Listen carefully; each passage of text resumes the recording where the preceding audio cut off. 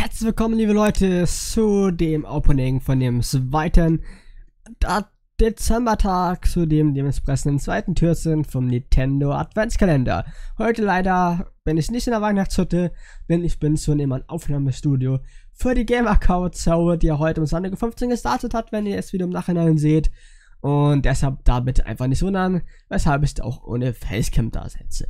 Ab morgen wird das dann wieder live von der Weihnachts-, von der ähm, Weihnachtsmann heute natürlich sein. Wissen wir ja alle. So, wir gehen direkt ganz schnell. Es ist heute wirklich so ein kurzes Video. Morgen wird es vielleicht länger. Ihr wisst da, ist nur, vielleicht für die, die noch nicht wissen, was Sache ist, den internen Adventskalender öffnen bis zum 24. jeden Tag. Und heute am 2. Dezember uh, gibt es 20 Codes für Dragon Quest äh, Streiter des Schicksals Definitive Edition. Das ist cool. Ihr müsst einfach hier unten drauf gehen. Das ist bei euch nicht äh, vergraut. Bei mir ist es vergraut, weil ich nicht teilnehmen kann.